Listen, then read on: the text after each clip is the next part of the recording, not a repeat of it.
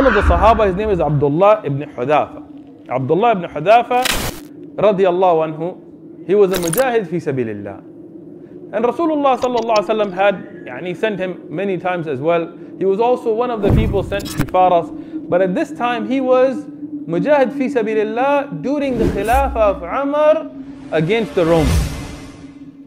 And the Roman Qaisar, the king of the Romans, he wanted to know about these Sahaba. And he had heard about the great victories that they were having, and he didn't understand it because the kafir doesn't have the aqidah, they don't have the iman, they don't have the yaqeen. So they think everything is something to do with dunya. They don't think that this is the nusrah from Allah subhanahu wa ta'ala. So he said these guys must have some great DNA, and some great, uh, some way they must be physically very able, and that's why they have these victories.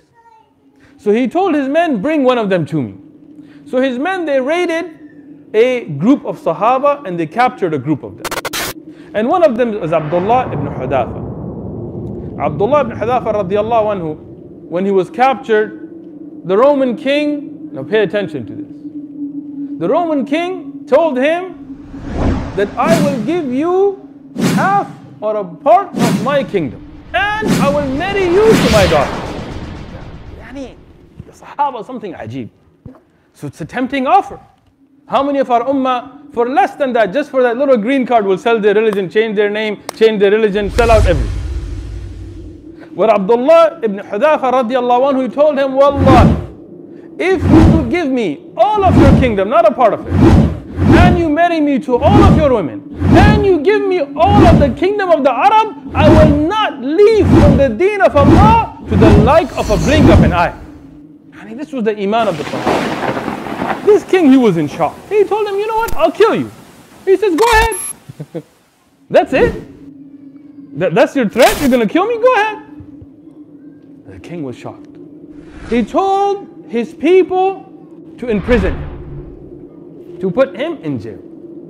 Abdullah ibn radiyan was put in jail. He told him, don't give him any food or drink. So he was starved and thirsty. At a point where he was close to death, the king he sent khinzir, pork, and khamar, alcohol. Now, we know khinzir is haram, pork is haram, and we know khamar is haram, alcohol is haram. But if you're at the point of starvation, it becomes halal, right?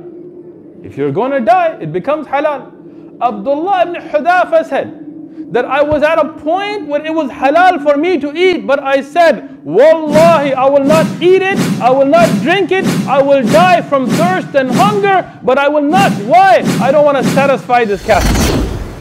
I don't want this kafir to become happy that I ate what Allah has made haram, even though it was halal on me.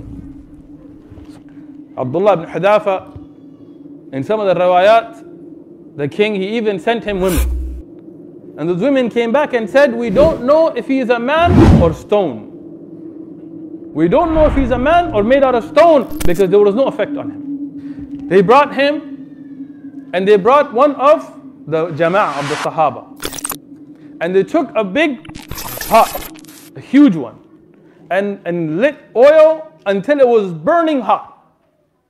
And in front of him, they threw one of the Sahaba in there so the oil burnt off his skin and burnt off his flesh. Burning oil. Burnt him alive to death. Didn't kill him and throw him in there. Threw him in there alive and would scream and burn and pain, killed him. And told Abdullah ibn radiallahu anhu that if you don't become a Christian and leave your religion, you're next. He told him, okay. So they took him to burn him. They were, they were setting him up to throw him.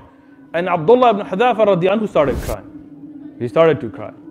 The king heard he's crying. He goes, okay, we got him. He broke. Bring him back. They brought him back. He told him, now, you ready? He him, ready for what? To become a Christian? He said, no, you misunderstood. I'm not crying because I'm afraid of death. I'm crying because I only have this one life to give for Allah. That's it. I only have this one life to sacrifice for Allah. I wish In one of the rawayat, he said, I wish I had a hundred lives so I could sacrifice each one of them one after the other for the sake of Allah. I'm crying because Allah has blessed us with so much, and all I have is one life to sacrifice for His sake. And what have me and you sacrificed for the sake of Allah? What are me and you doing for the sake of Allah? And you ask yourself this. Abdullah ibn Hudhafah radiyanhu's iman, it shocked the king. The king said, These are a different people. We can't deal with this. He couldn't do anything with them. Even if he killed them, they're not going to budge. And he couldn't just let him go because then his own people will laugh at him. So he told him, If you kiss my head, I'll let you go. And he was trying to get a way out of this now. Abdullah ibn Hudhafah said no. He said, The only way I will kiss your head if you leave the Jama'ah, like if you leave all the Muslims. He wasn't worried about himself, he was worried about the Muslims. The king told him, Okay, I'll let all of you go. So he kissed his head and he let them go. When Abdullah ibn Hudhafah radiyanhu returned to Medina, Umar ibn Khattab radiyanhu honored him, brought him. Now this is the type, the, what issue having to do with Umar. He called him and he said, It is wajib, obligatory upon every Muslim in Medina to kiss the head of Abdullah ibn Hudhafah, beginning with me. And he went and he kissed the head of Abdullah ibn Hudhafah, and he had everybody, all of the men in Medina, go and kiss the head of Abdullah ibn Hudhafah to honor what he did for the sake of Allah.